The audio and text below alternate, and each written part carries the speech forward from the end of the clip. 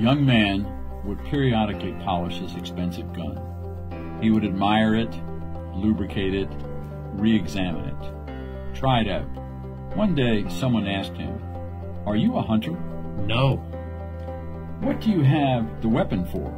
it's only a valuable object for my esteem. And he put it away again. One day, he was repeating the careful cleaning operation when he unconsciously moved a finger, and the gun went off, projecting the only bullet in the barrel into one of his feet, forcing him into a severe hospitalization for a few days. This simple lesson points out the attitude of alertness that we should sustain towards everything that may be inconvenient. Sometimes, through selfishness or pride, we maintain things in order to make a good impression upon a majority of people, while, on many occasions, we are betrayed in the field of prejudices. However, the moment will always come when we become victims of a backfire.